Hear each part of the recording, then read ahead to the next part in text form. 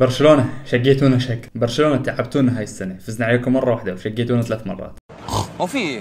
أنتوا جايبيني هنا عشان تهزقوني ولا إيه؟ فاليوم راح أفوز عليكم تدلل مو تدلل مو تدلل لك مو تدلل. مرحبا أصدقائي لا صوت يعلى فوق صوت الكلاسيكو الخامس هذا الموسم والرابع في عام 2023 كلاسيكو اياب كأس الملك والفائز منه تقريبا راح يكون بطل كأس ملك اسباني فخلينا على السريع نفكفك المباراة. بس قبل لا نبدأ الفيديو أتأكد إنك مشترك في القناة دايس like ومفعل جرس التنبيهات. خلينا ننطلق. كلاسيكو اليوم هو آخر فرصة لأنشيلوتي أمام تشافي. أنشيلوتي اللي فاز على تشافي هاي السنة مرة واحدة فقط وخسر في ثلاث مواجهات. وهاي المواجهات اللي خسرها أمام تشافي خسر بهم بطولتين كأس السوبر والدوري الإسباني. ففي حال خسر مواجهة كأس الملك معناها إنه أنشيلوتي خسر جميع البطولات المحلية اللي تشافي هاي السنة وهذه بحد ذاتها كارثة.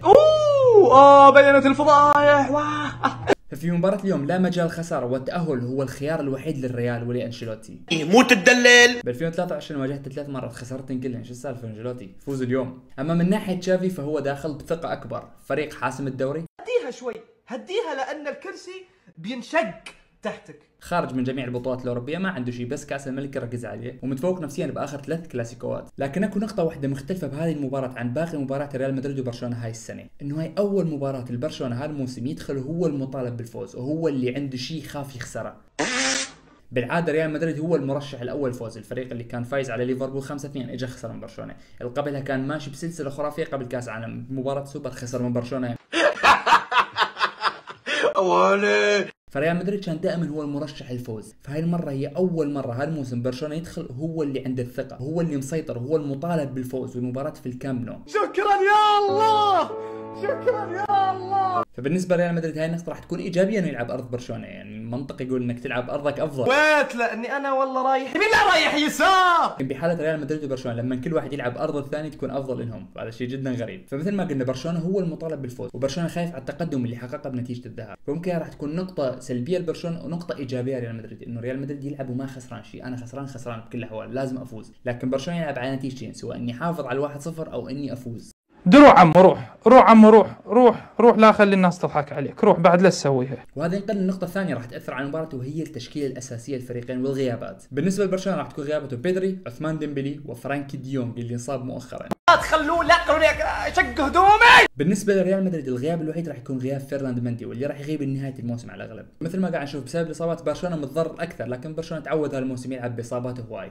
لهذا السبب ما أتوقع الإصابات راح تأثر هواي على برشلونة. بالنسبة لحالة الفريقين قبل المباراة بالنسبة لبرشلونة فاز بآخر مباراة 4-0 وذلك داخل بحالة نوعا ما جيدة. جميع لاعبين خط الهجوم سجلوا في المباراة الأخيرة لذلك برشلونة على الأغلب راح يبدي بنفس خط الهجوم اللي بدأ أمام مايوركا. أما بالنسبة لريال مدريد ففاز 6-0 على بلد الوليد. بمباراه شهدت تسجيل بنزيما هاتريك. دائما بنزيما يقول إنه أنا برمضان العب أفضل. لأنه دائما أحس بالثقة وبالأمان وإني أنا مسيطر. فبالتالي هل هي بداية بنزيما هالموسم وانطلاقته مثل ما صار بالموسم الماضي ولا لا؟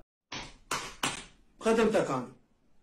خدمتك والله وشفنا انشيلوتي امام بلد الوليد يبدي بتشكيلة نوعا ما غريبة على الريال هالموسم. 4 2 3 1 وبدأ بأربع لاعبين بخط الهجوم. وشفنا الريال يريح مودريتش وفالفيردي استعدادا للكلاسيكو. لكن على الأغلب ريال مدريد راح يلعب تشكيلة 4 3 3 اللي لعبها من برشلونة مع تغيير في شكلها أثناء المباراة. لكن التغييرات المفاجئه راح تكون في تشكيلة برشلونة حيث أنا متوقع شخصيا إنه إيريك جارسيا راح يبدي المباراه اساسي سواء كقلب دفاع أو كلاعب خط وسط. ممكن برشلونة يلعب 4 3 3 لكن مع لاعبين ارتكاز بوتسكيتس وإيريك جارسيا وقدامهم فرانك كيسي. هاي راح تكون مجازفة كبيرة ومخاطرة من تشافي. إنه يبدي بإيريك جارسيا بمركز ممكن غير متعود عليه كخط وسط متأخر أو كحتى قلب دفاع بمباراة مثل الكلاسيكو، إيريك جارسيا من أفضل المدافعين اللي يجيدون بناء اللعب، لكن كمدافع بحد ذاته مو مدافع سوبر. طيب طيب الآن خلصت التتمثلت خلاص كافي نشب والنقطة الثانية بالنسبة لبرشلونة هي التخوف حول مشاركة أو جاهزية أراوخو، أراوخو ممكن يلعب كل الأحوال وأتوقع أنه راح يلعب لكن ما راح يكون جاهز 100% لأنه اللاعب اتصاب آخر مباريات. يا الله مقدار الرجولة عندك. لذلك برشلونة داخل والضغوطات كلها عليه بينما ريال مدريد يلعب مرتاح أنا ما خسران شيء. ومع عودة كريم بنزيما لفورمته واستعادة فورمة أسينسيو ورودريجو وثبات فينيسيوس جونيور الخرافي والمستوى الرائع اللي قاعد يقدمه تشواميني وكامافينجا أتوقع إنه ريال مدريد راح يفوز على برشلونة بهالمباراه حقود الحقود